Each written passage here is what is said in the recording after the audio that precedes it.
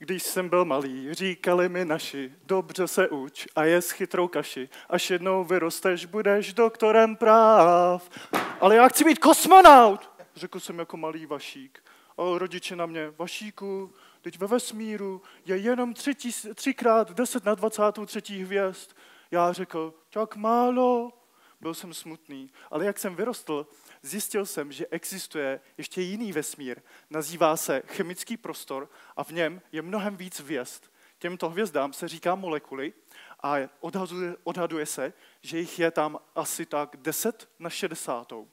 Já jsem se tady rozhodl, že využiju virtuální screening a konkrétně jeho jednu z metod, která se jmenuje farmakoforové modelování.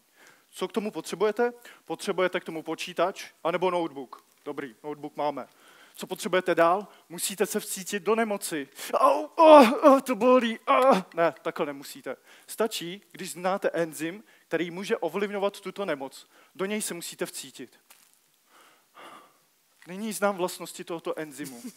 Vím, které molekuly by ho tak asi mohly inhibovat nebo aktivovat. Tím bychom tedy mohli tuto nemoc léčit, nebo bychom mohli léčit aspoň její příznaky. Já jsem se tedy rozhodl, že započnu virtuální screening pomocí farmakoforového modelování. To znamená, že vy publikum jste nyní moje databáze a já ve vás screenuji. Koukám na slečny, molekuly, jaké mají tvary, jaké mají strukturní křivky, predikuji jejich biologické vlastnosti a takto z vás vyberu přibližně tisíc slečen. Nyní můžu přistoupit na další techniku, které se říká například molekulární docking. To takhle přijdu k nějaké slečně a zeptám se, chceš se dokovat? Koukám na její afinitu ke mně, koukám, jestli se ke mně chce vázat, jestli se chce objímat. A pokud chce, tak si ji dám stranou. Takhle vyberu přibližně 100 slečen, které můžu potom experimentálně dále odzkoušet a testovat, Případně, pokud to neumím experimentálně, půjčím je svýmu kamarádovi, který to za mě odzkouší. A takhle je můžu poslat dále například do klinických testů, kde se zjistí, jestli jsou dobré nebo špatné. Nechcete mít doma přece žádnou toxickou fúrii, že? A když budete mít štěstí, tak z těchto slečen vyberete jednu, která bude stát po vašem boku, bude mít správné vlastnosti, bude hvězdou ve vašem chemickém prostoru a vaším lékem. Děkuji. Václav Mareška. Vy jste nebezpečný lovec. Poprosím odbornou porotu. Já bych si chtěla zeptat, vy se tedy spíš zabýváte to, tím výběrem jako takovým. Jak dlouho hmm. asi tak trvá nějaká analýza, jestli se to dá říct tak jako, no, když vybíráte ty tisíce těch slečen, jestli to trvá měsíc nebo týden nebo No, jak, jak kdy, podle, občas se tam objeví nějaké problémy, ale dalo by se říct, že samotný výpočet ten trvá hodiny, ale samotné to vybírání celkové během několika těch kroků tak měsíc i více.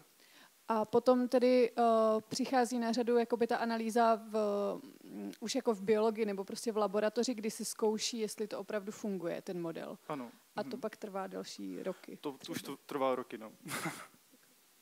no Mně se velice líbila vaše eh, živá show. Jo to jsem si půjčil brýle na virtuální realitu a tak, ale um, um, úplně na tom začátku, jako když jsem se pak tím propracoval, tak mi najednou začalo chybět, jako proč je, co je to screening, to jste na začátku neřekl, a proč je virtuální, proč není jako ten reálný.